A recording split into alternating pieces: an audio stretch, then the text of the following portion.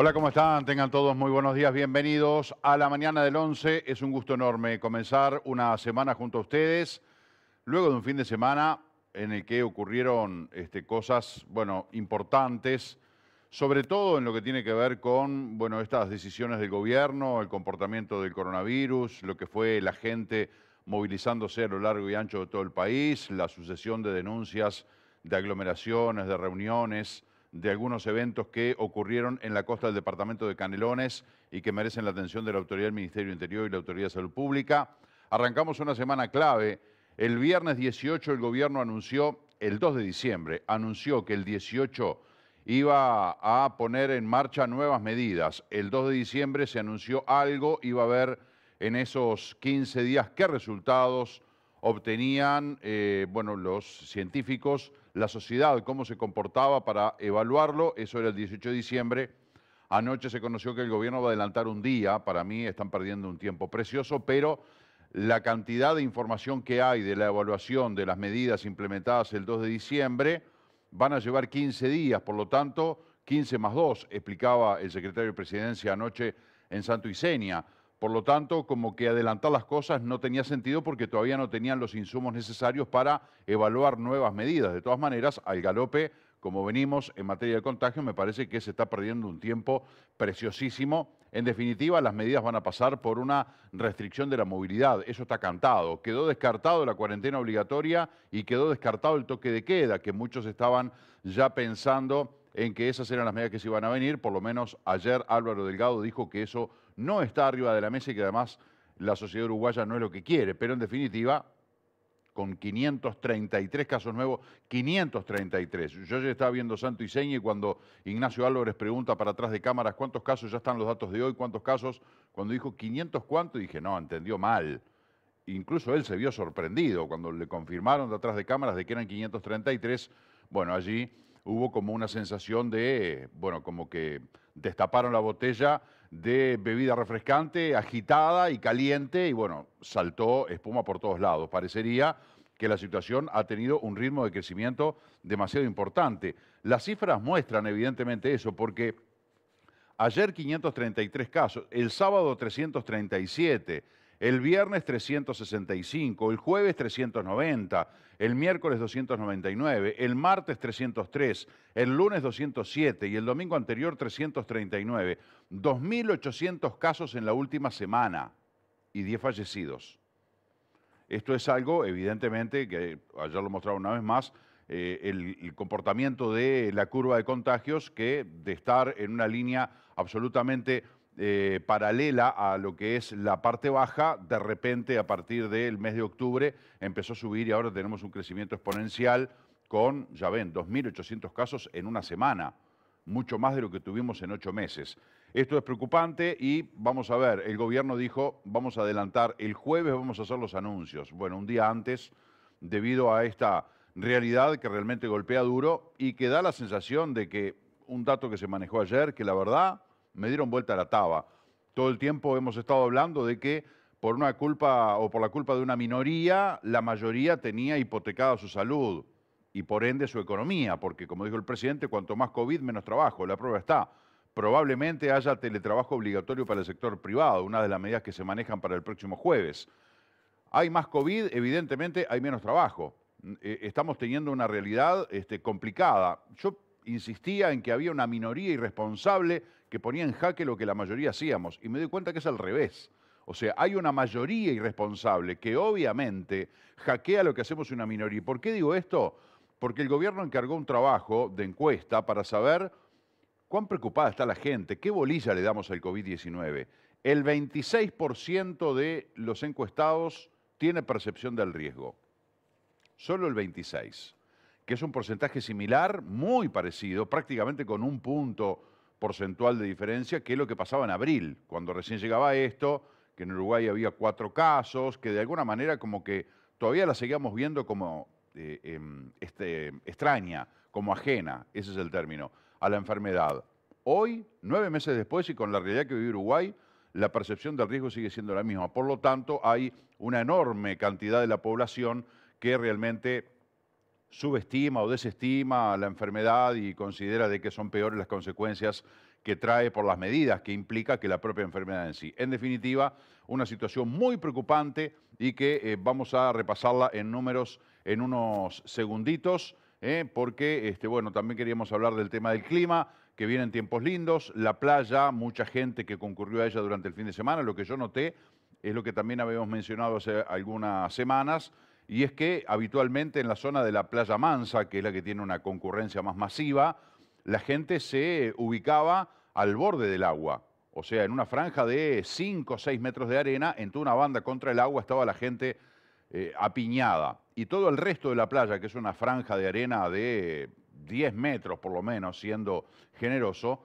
eh, estaba absolutamente vacía. Claro, es la parte donde la arena quema, ¿no? Una vez que bajas el médano, que tenés que ir rápido hasta llegar a la zona de la costa. Bueno, la gente empezó a aprovechar esa franja desperdiciada de unos 10 metros y se distribuye con un distanciamiento correcto. Creo que allí hay una capacidad de recibir a mucha más gente que hasta ahora estaba ociosa en la playa y que ahora, producto de las medidas, bueno, por suerte la gente entiende y utiliza ese espacio inclusive más atrás, en la parte de médanos, aunque en la mansa tenemos unos médanos muy desgastados, muy pobrecitos, pero en la zona de médanos, en definitiva, allí la gente también se ubica. Eso es una buena noticia, es un buen indicador, habida cuenta de que todo señalaría de que no habría problemas en el uso de las playas en verano, por más que venga mucha gente de todos los departamentos. En definitiva, una eh, jornada, tanto el sábado como el domingo, muy aprovechables. Eh, no, ayer domingo estuvo feo. Ayer estuvo frío, vino un chaparrón este, en la madrugada del sábado, en la mañana del domingo, impresionante. Bienvenida a la lluvia, quedó un poco más fresco, no estaba lindo. El sábado sí estaba lindo y había bastante gente, el agua espectacular, fría pero divina. Le quiero mandar un beso a un televidente que dijo, siempre miramos el programa. En realidad me lo dijeron sus papás, porque me refiero a un televidente de, calculo, yo tendrá seis años. Se llama Gaspar y le quiero mandar un gran beso que, bueno, me saludó en la playa el otro día, estaba fascinado porque dice el papá, no sabía si este, el Marcelo era solo de la tele y ahora ve que es, verdad, que sos de verdad y, bueno, quedó impresionado el niño, así que un beso para Gaspar. Vamos a ver qué es lo que dice el Instituto, eh, perdón, el Sistema Nacional de Emergencias respecto al COVID-19. Como decíamos, 533 casos en 6.658 test realizados. Estamos en un 8, 8 con algo por ciento, ¿no? Ha trepado la tasa de positividad de manera impresionante. 3.258 casos activos tenemos en Uruguay, 6.358 personas recuperadas, 92 fallecidos, 38 personas en CTI, otro número que ha crecido eh, de manera importante y ahí es donde viene el punto caliente, el punto rojo, la zona de preocupación o de ocupación del gobierno y del personal médico, es el cuello de botella que se pueda formar en el em, tratamiento intensivo, las personas que necesiten atención de CTI, que no solamente tiene una capacidad limitada, sino que además no es solamente por COVID que hay pacientes en CTI.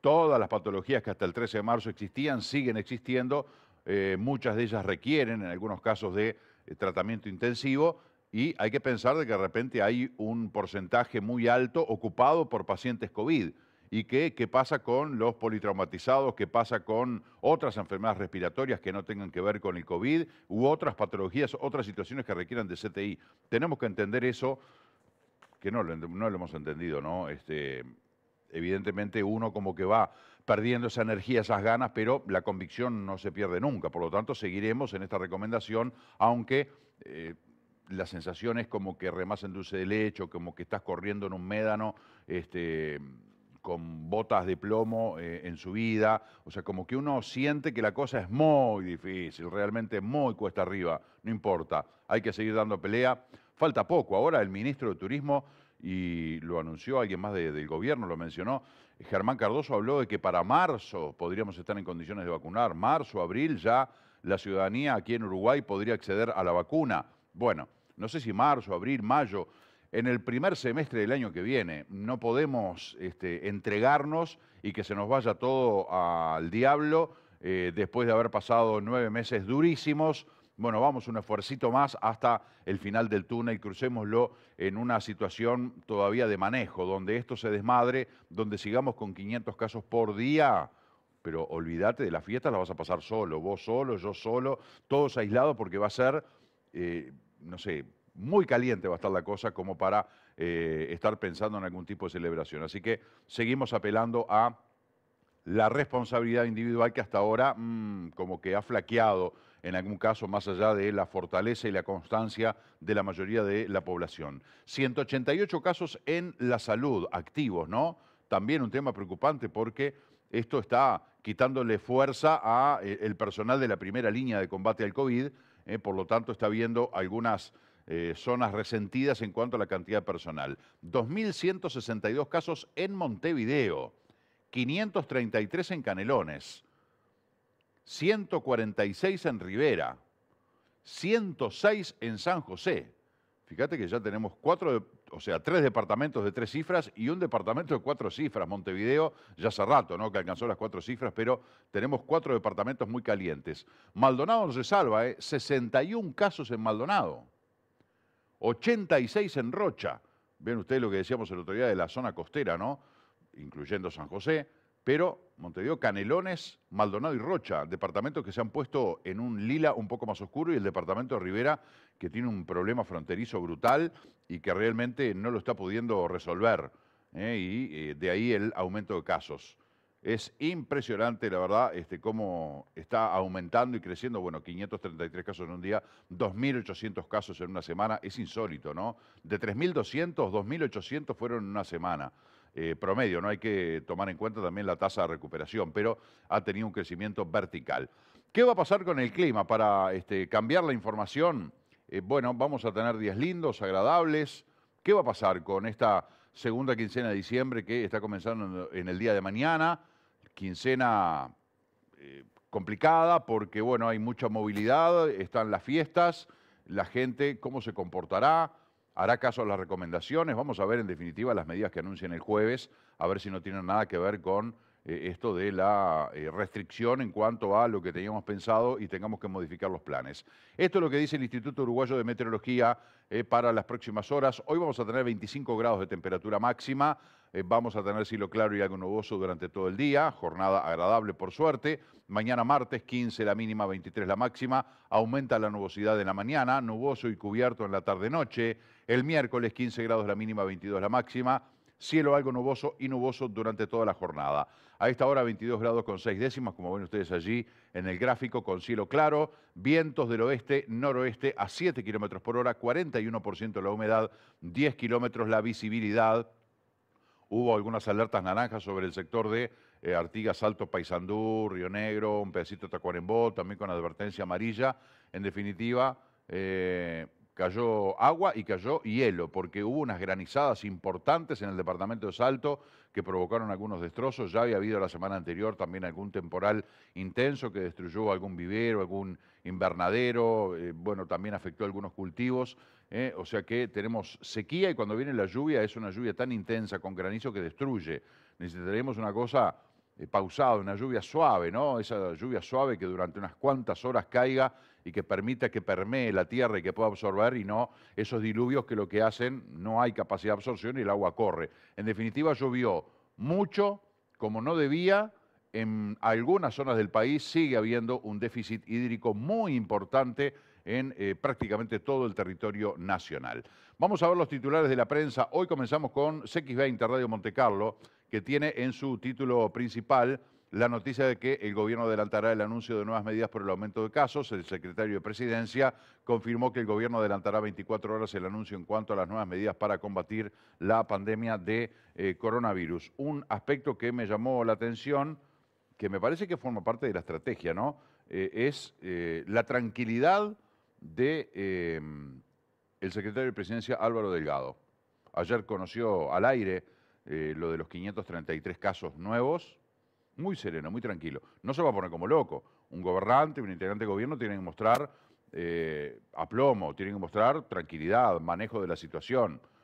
Tampoco es que por lo de ayer es como que hubieran cortado la cuerda, tampoco es eso, pero estuvo hablando, estuvo un rato largo en el programa, seguramente muchos de ustedes lo vieron el hombre con un dominio absoluto de la situación, quitándole dramatismo, quitándole este, locura y, bueno, explicando claramente eh, qué es lo que hay que hacer y la esperanza de eh, la responsabilidad de la gente. ¿no? Si bien hay un componente importante del gobierno, evidentemente el gobierno tiene responsabilidad en cómo maneje la pandemia, pero nosotros, cada uno, tenemos responsabilidad. No le podemos pedir todo al gobierno, este o el que sea. No podemos pedirle todo al gobierno. Tenemos que poner de nosotros mismos y acá me parece que estamos medio eh, en el debe. Me parece que nos vamos a exámenes, me parece. Móvil en vivo, Florencia Sagasti, Marcelo Biurrun. ¿Cómo están? Buen día, adelante. Marcelo, ¿qué tal? ¿Cómo estás? Muy buenos días para vos y para toda la audiencia. Aquí estamos comenzando otra semana de este diciembre que viene regalándonos unos días, la verdad que espectaculares. Para comenzar y saludarlos en este lunes con Marcelo Biurron, elegimos, mira, un lugar también muy particular en la península, justamente aquí por Punta del Este, bien pegadito a la Rambla, podrán ver de fondo el mar, que es una cosa espectacular también el color que tiene. Eh, bueno, mucha gente disfrutando de la playa, por lo que pude ver eh, respetando las medidas de prevención recomendadas, pero con este horizonte que se puede ver hasta la isla de Lobos, perfecta, ¿no? No sé si llegaron a, verla, pero realmente se ve totalmente despejada la isla, bueno, los barcos que aprovechan para pescar por allí. Y nosotros aquí parados en lo que se llama la Plaza del Ingenio. Muchos han pasado por afuera, ven los arbustos, las plantas que hay muy bien decoradas, con unos muros también eh, bordó pintados, con, eh, intercambiando con, construcciones de piedra, pero bueno, aquí adentro funciona, o funcionaba en realidad, pero está muy bien cuidada, solo faltan los juegos, la Plaza del Ingenio. Podrán ver distintos eh, lugares, distintos juegos, está un, como un tablero de ajedrez, hay un, un reloj solar que estaría funcionando, que también en su momento imagino que marcaba también cómo estaba la hora. Bueno, distintos tableros de juegos que en su momento, como, me comentaba Marcelo, también habían fichas por las cuales con las que se podía jugar, pero bueno, hoy es un lugar donde la gente aprovecha para, para disfrutar el aire libre y este hermoso paisaje entre la playa El Emir y la playa de los ingleses. Desde aquí les adelantamos también que más adelante vamos a estar trasladando hasta el Centro de Formación Docente para conversar sobre las eh, inscripciones que ya están abiertas hasta el 30 de diciembre para alumnos de primeros de liceo y UTU. Así que bueno, también cómo se están realizando estas coordinaciones departamentales de integración educativa. Todo allí vamos a estar conversando. Y desde allí nos vamos a trasladar hasta la peluquería Serrana porque eh, vamos a contarles cómo está funcionando los servicios de esta peluquería, muy reconocida también en el departamento, y el cumplimiento de los protocolos que están obviamente llevando adelante allí para transmitir la confianza a, todos los clientes que quieran ir y seguir cuidándonos entre todos. Así que una mañana muy interesante y diferente, ¿no? Desde un lado de la educación, después un poco de, de cuidado, de belleza personal. Desde aquí es que los saludamos y le damos la bienvenida a ustedes. Yo me pregunto, ¿no? Las este, fichas de ajedrez, ¿las habrán guardado para que no se las lleve el temporal? ¿Se las habrán robado y ya no existen más fichas? Este, ¿Qué habrá pasado? Porque esa placita del ingenio muy buena, porque además justamente eso, ¿no? Tenía una cantidad de juegos de ingenio eh, este, que estaba bien interesante, un lugar distinto, con un entorno absolutamente único y privilegiado. Y sin embargo, bueno, este, hay un mantenimiento, se ve que está muy prolijita la plaza, pero este, no sé qué habrá pasado con esas fichas, ¿no? Pues mucha gente iba, hay fotos de hace mucho tiempo. ¿Cuánto hace? Yo vi fotos hace años de gente jugando allí al ajedrez con fichas de, no sé, un metro de altura, no sé cuánto tendrían, quizá un poco menos. Pero bueno, este, estaría bueno averiguar, ¿no? ¿Qué pasó con eso y si no se puede implementar? Porque además el juego de ajedrez es de dos. Ponerle que en ese tamaño jueguen dos contra dos, pero en definitiva sería un lugar al aire libre eh, que puede este, generar un entretenimiento dentro de lo que está permitido debido a la actual situación sanitaria. Florencia, muchas gracias por regalarnos junto a Marcelo esta imagen espectacular de una zona de la playa Brava de Punta del Este y de este cielo despejado hermosísimo, la isla de Lobos, como vos señalabas, que se ve con una absoluta claridad, me imagino allí en vivo debe ser un espectáculo. Así que esperamos por el llamado de ustedes para más adelante, así nos desarrollan estas novedades que nos has adelantado. ¿Te parece? Sin duda, sí, nos estaremos encontrando más adelante para compartir los testimonios. Muy bien, nuestros compañeros en el móvil, Florencia Sagasti y Marcelo Biurrun, con quienes volvemos dentro de un ratito, porque ahora vamos a seguir leyendo el portal de CX20 Radio Monte Carlo, que da cuenta de un importante incendio que se está combatiendo a esta hora en una casa ubicada en Montevideo, en Enrique Clay y 8 de octubre. Otro titular, Intendencia desarticuló cuatro fiestas clandestinas en Montevideo. La intendente de Montevideo, Carolina Cosa, informó que en las últimas horas se desarticularon cuatro fiestas clandestinas en la capital, entre ellas un casamiento con más de 100 personas. Y ahí tenés. O sea, es imposible, ¿no? Como dijo el otro día el ministro Larrañá, que ya lo han dicho otros ministros, lo han dicho jefes de policía, no podemos poner un policía al lado de cada uno. No puede haber un inspector de tránsito al lado de cada uno o en cada esquina. No puede haber un marinero de prefectura al lado de cada persona en la playa o en la costa para decir lo que tiene que hacer. Es imposible, porque es lógica, humana, eh, logística y económicamente imposible, cerebralmente imposible, porque estaríamos hablando de una sociedad reventada que no sirve para nada. Tenemos que demostrar de que somos responsables y de que sabemos manejarnos solos responsablemente, cuidándonos y respetando al otro. No somos capaces de demostrar eso, bueno, van a venir las medidas de apriete, de restricción, ¿no? Como decía el otro día el eh, diputado eh, Andújar, bueno, para mí viene el tema de la sanción, el tema del rezongo del apriete eh, severo.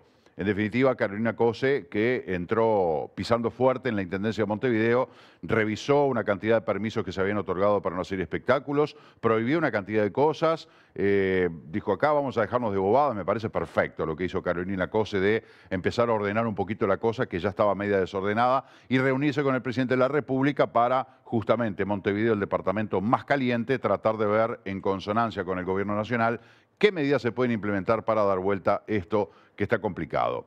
Peñarol se queda con el clásico, Nacional y Wanderers aguardan por la final. Peñarol quedó con el clásico tras vencer a Nacional por 3-2 en la séptima jornada del intermedio, torneo que el tricolor definirá eh, con Montevideo Wanderers. Bueno, el partido de ayer una vergüenza, una vergüenza de punta a punta, de cabo a rabo. Eh, para empezar, bueno, una avioneta que circulaba con las avionetas de publicidad que ves acá en verano, circulaba por el campeón del siglo que decía dos clásicos, no, dos finales en cuatro días, puntos suspensivos, tu papá. Eso es una provocación de Nacional absolutamente inútil. Uno puede decir, y pero pará, ¿y qué, hace? No, no es nada, simplemente como tantas banderas que hay elusivas o tantos cánticos, bueno, fue una avioneta, bien, pero no deja de ser una provocación. Pero después también las provocaciones se dieron por el lado de Peñarol. ¿Qué hacían ese grupo de hinchas, no sé, 6, 8, 10, 12, que en determinado momento muestra la televisión eh, gritando? ¿Qué hacen? No era un partido a puertas cerradas. ¿Qué están haciendo esos hinchas de Peñarol ahí adentro? Bueno, supongo que este, habrá alguna explicación y los habrán sacado. Después al rato mostraron un grupo de hinchas de Nacional. ¿Qué hacían los hinchas de Nacional dentro del estadio si era puertas cerradas? Bueno, después, para mí, la ruptura de los protocolos, por más que estén en burbujas y todo lo demás, ya hemos visto que dentro de las burbujas futbolísticas también se han dado casos de COVID-19. Eh, bueno, el tema de la euforia en un gol o un, no sé, alguna jugada friccionada está bien, pero cuando van a protestarle al juez, como fueron ayer a protestarle, que se ponen nariz con nariz, frente con frente, que parecen dos carneros enfurecidos, eso no se puede, muchacho. Porque aquí se están hablando cara a cara, se están escupiendo todo y por más que vos digas, no, pero el juez está en una burbuja igual que los jugadores están sanos todos. No me importa. No es Yo también puedo decir, yo estoy sano y puedo hacer lo que quiera. No debo hacerlo.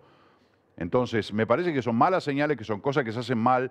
Eh, bueno, y después las escaramuzas al final, una vergüenza que se haya generado una suerte de cuasi batalla campal, porque menos mal que pudieron enfriar las cosas. Eh, mal, desubicados. Ahora, en lo que hace al partido, un partido muy deslucido, un resultado que me parece que no estuvo bien.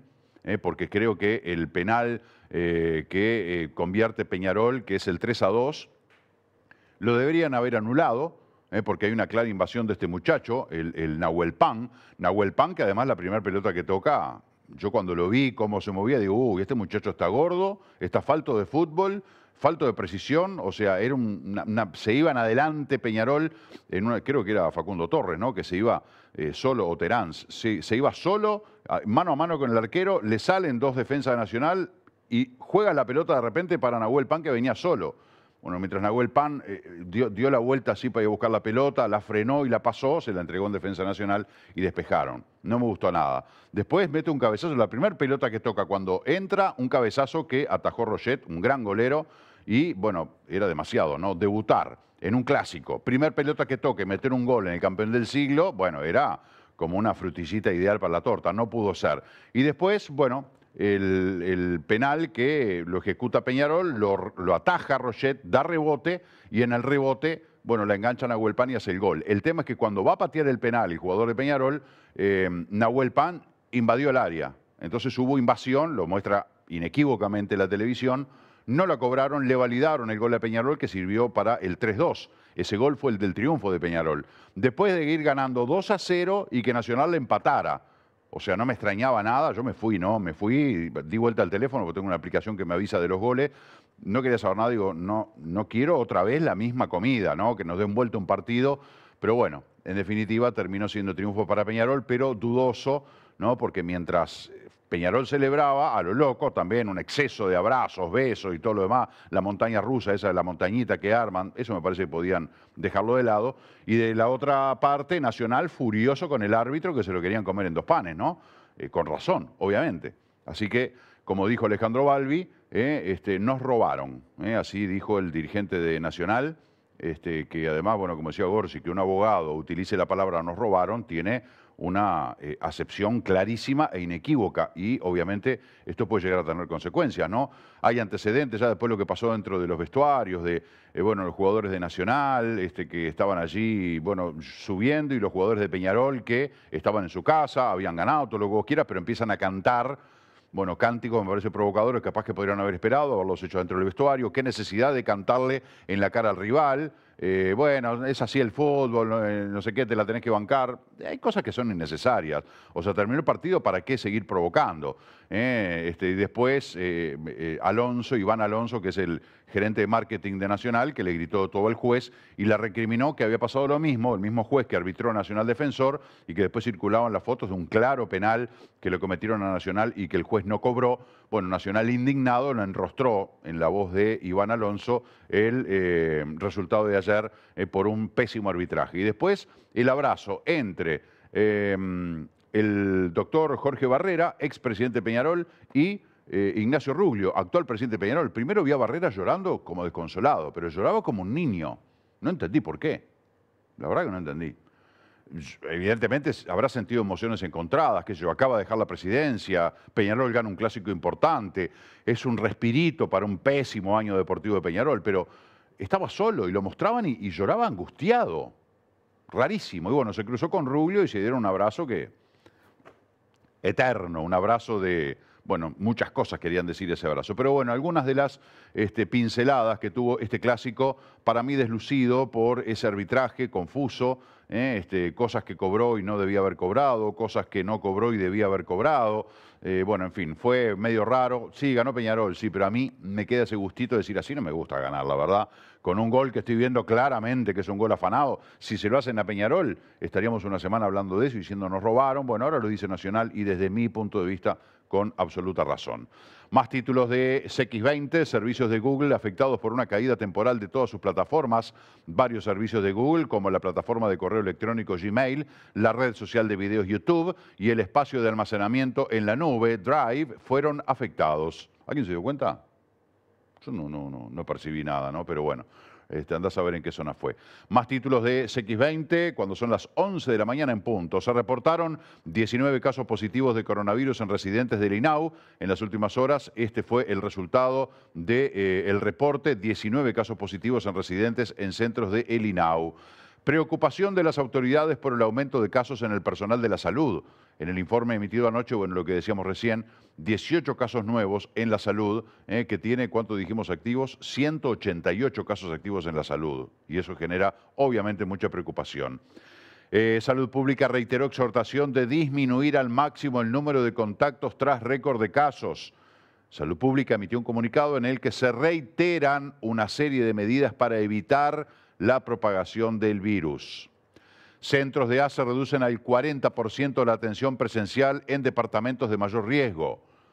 Bueno, también eso es una consecuencia. Empiezan otra vez a retroceder. Montevideo, Canelones y el Chuy están autorizados y recomendados para utilizar la telemedicina, es decir, la medicina a distancia. Hay especialidades en las cuales la telemedicina no sirve. Y tampoco nos tenemos que acostumbrar a la telemedicina. Tiene que seguir existiendo relación médico-paciente cara a cara, persona a persona, y además hay especialidades en las cuales imposible, un otorrinolaringólogo, un dermatólogo, un oculista no puede revisarte por teléfono, porque además son llamadas telefónicas. las este, teleconsultas eh, es, una llamada por teléfono, ni siquiera es una videoconsulta, ¿no? Donde vos de repente le puedes decir, mira, acá tengo B, esta parte inflamada, o mirá, se me hinchó acá, o tengo colorado acá. Es por teléfono. Entonces, como que es algo muy básico, como para repetición de medicamentos o hacer algún análisis que directamente diga, che, mira, te toca hacerte una placa de tal cosa y listo. Pero en realidad el COVID está obligando a que haya que atender vía telefónica y recomendado eso en varios departamentos. Maldonado todavía tiene este, vía libre para consultas presenciales, pero están pensando en una eh, restricción habida cuenta del crecimiento de casos. Vamos a ver qué dice hoy el diario del Observador rápidamente, las muertes por COVID y cuándo se prevé que se saturen las camas de CTI, fines de febrero, a, este ritmo, a fines de febrero colapsó el sistema de salud uruguayo. Qué increíble, qué increíble. Pensá que tuvimos prácticamente un seis, siete meses eh, bien, eh, con buena conducta, con buen resultado y en dos, tres meses se nos va todo al diablo, por no decir otra cosa. Falla en licitación de radioterapia, postergó recambio de viejos equipos.